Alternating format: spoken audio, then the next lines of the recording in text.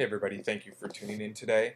Today I'm going to show you how to link Kong's Drum Designer to trigger ReDrum's sequencer uh, while gaining full access to the SSL mixer over each individual channel.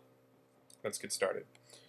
First thing we will do is create a Kong Drum Designer and then while holding shift we will create a ReDrum sequencer. This will prevent the pre-wired what we want to do then is connect the gate in and output on both of the drum machines here. Um, just for time, I'm only going to do four connections there. We will then create four corresponding mix channels here. While holding Option, quickly copy let's load samples into the um, drum machine now. start with a kick.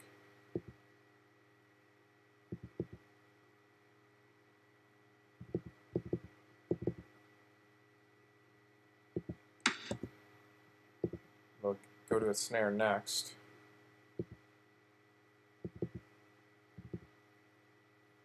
Do an open hi-hat.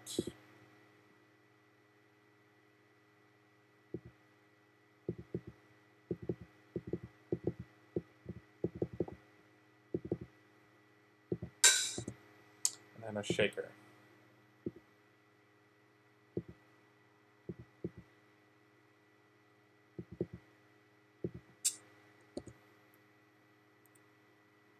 Okay. This is where it gets kind of important here that we wire and pad things correctly. Because as you can see in the Kong Drum Designer, everything um, as far as output goes is in stereo pairs here. Um, that only gives us access to basically to eight outputs, and we can have up to 10 with a ReDrum sequencer. So I like to do kind of mono sends or mono outputs from these guys so we can get uh, you know, more options here. Um, the way to do that is we're going to disconnect this. This will basically be main output 1 and 2, and then you can see we have 3 through 16 here. By holding shift, we can send just from the left output into the first, first mix channel here. Again, holding shift, to the right output strictly to the second mix channel. We'll go back here, we'll build a basic beat here. This will be the kick on the downbeats.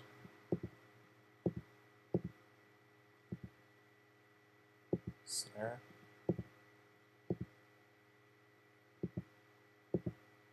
Hats, and we'll do one shaker here.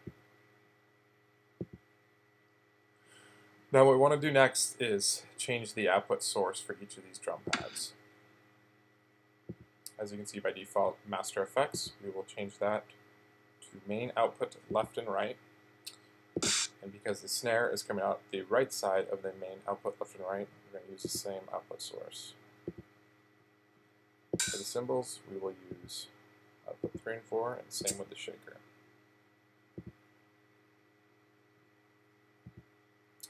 Now, if I was just to start playing this beat,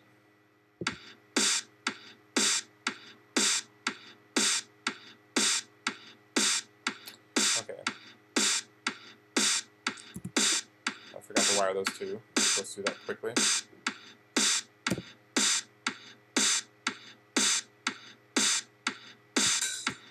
And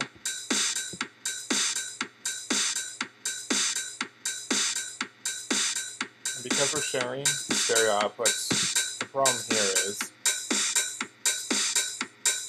if we switch to the mixer view, and if I was say, for example, solo just the kick, you still hear the snare in there. It's blending the two. Same thing if I solo just the snare, because they're used, they're sharing the same stereo output. Now, the way to get around this is we'll go back to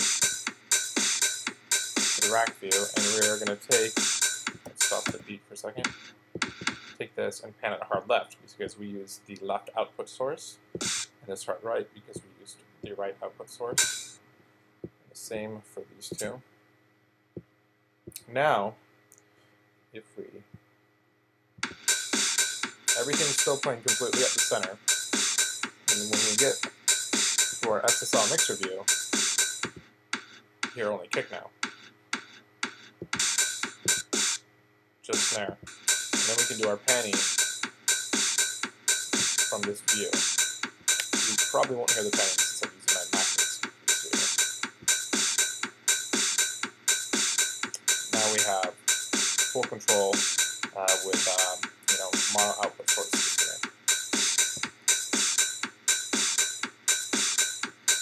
next is name pick snare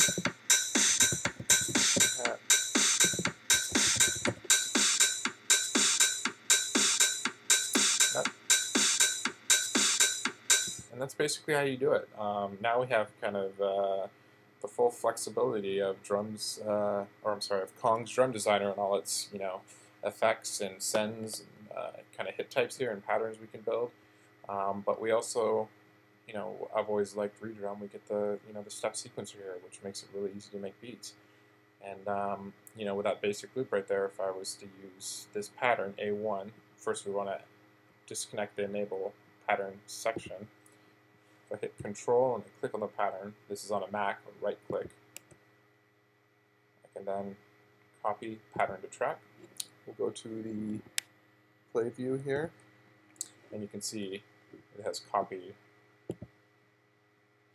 that drum loop to the track here. If I hold Option, I can just continuously loop it. That is my alarm to wake up. Cool. So that's about it. Um, if you have any questions uh, about this video, feel free to ask. But you know, I've seen a few other people do this, and they always were just taking a you know all they were able to do was the uh, the stereo outputs from the Kong, um, rather you know than kind of breaking these up and getting you know the 16 different uh, output choices. Um, I showed you a way how to do that.